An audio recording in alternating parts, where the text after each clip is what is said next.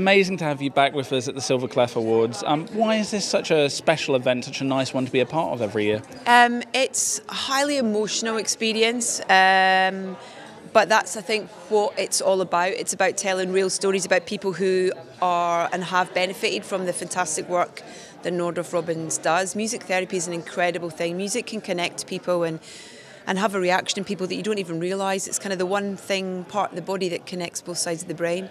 It's the one thing that connects both sides of the brain. So I think the power of music therapy is, is kind of really unsung. So today it's about raising buckets of cash to support Nordoff Robbins and help more people. I think obviously this is a charity that harnesses that power of music to change our lives. I'm curious, has there been a particular moment in your life where a particular artist or song has changed your life in this kind of way, had that kind of impact on you? Oh wow! Um, well, for me, um, when I uh, when I had my first kid, actually, um, we used music a lot to just to have around and we'd put certain things on and it would just instantly kind of calm him down.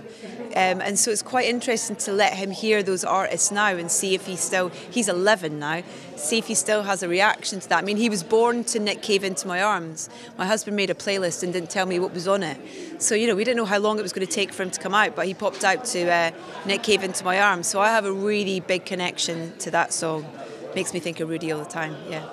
Definitely cooler than Baby Shark. Um, now, I, obviously, um, you're a very busy lady. Uh, what have you got coming up the rest of the year and beyond? Obviously, the podcast again keeps going from strength to strength. Thank you. Yeah, the podcast is keeping me very busy, uh, and we've got some really exciting kind of offshoots of that that's going on. I've got TRNSMT Festival next weekend up in Scotland, so we're doing that for the BBC. Uh, I've got the Scottish BAFTAs again in November, which is good, and then I've just shot a couple of pilots for things, so waiting to find out what happens with them. So yeah, busy times.